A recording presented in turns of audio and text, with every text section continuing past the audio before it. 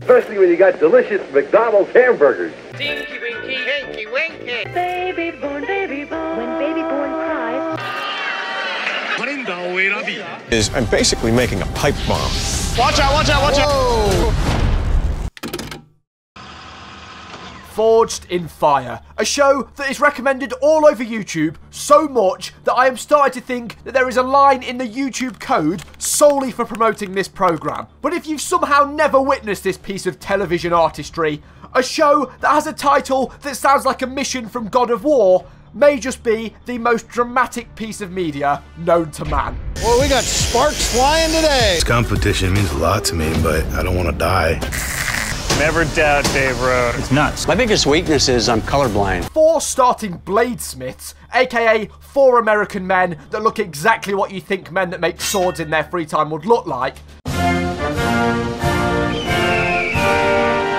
compete against each other in The Forge, fighting for a grand prize of $10,000 and a £20 Steam gift card.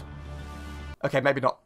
Maybe not the gift card. Such fierce competitors as this bold American man, this bold American man, and this bold American man.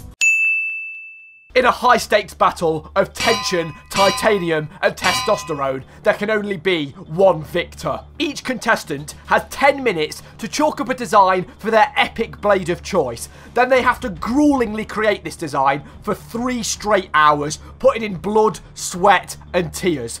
And after this blade is created, this is where the show really hots up. Get it? Like, hots up, because the show's called F- Forged in Fire.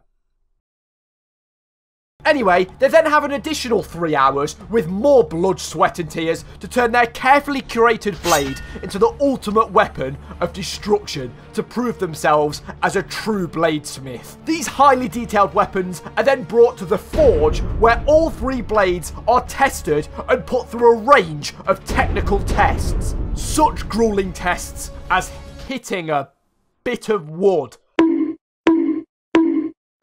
And of course, it's all filmed in slow motion with rock music over the top for ultra dramatic effect.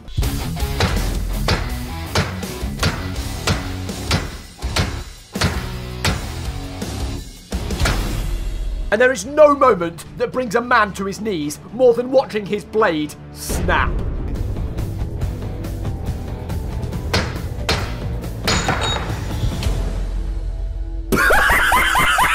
Not only have you just been humiliated in front of your fellow bladesmiths, that weapon is a metaphor of your manliness, and nobody wants to see their manliness be destroyed by another man in front of other men. Bob, your blade suffered that catastrophic failure in one stroke.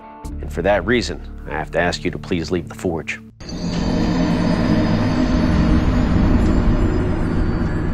If you've never broken a blade as a bladesmith, you have a bladesmith.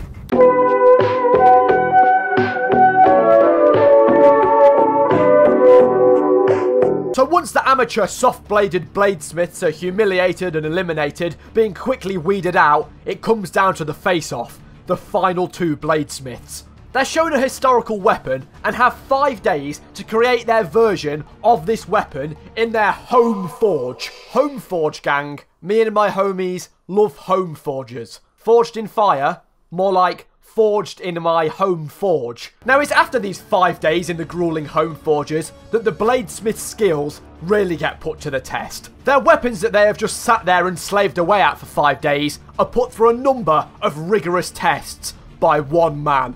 A brute, a vicious vagabond, an apex predator. This small man but don't let this man's small stature fool you for a second, because Doug Marcaida is a US military contractor that is trained in the martial arts style of Kali. And boy does he use it.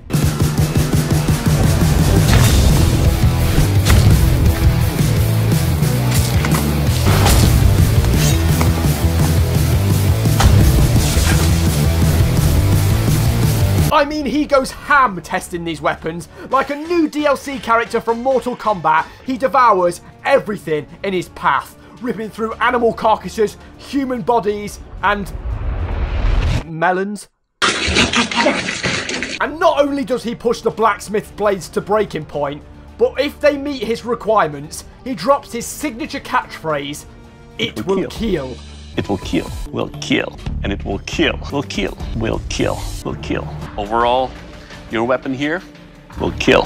Which, if you're unaware, is an acronym Doug himself came up with that stands for Keeps Everyone Alive. I mean, how badass is that? Nothing is more hardcore than acronyms. Nice throw! So finally, once the Pro Blade Master has been crowned and received their $10,000 check, the runner-up is then beheaded with their own weapon.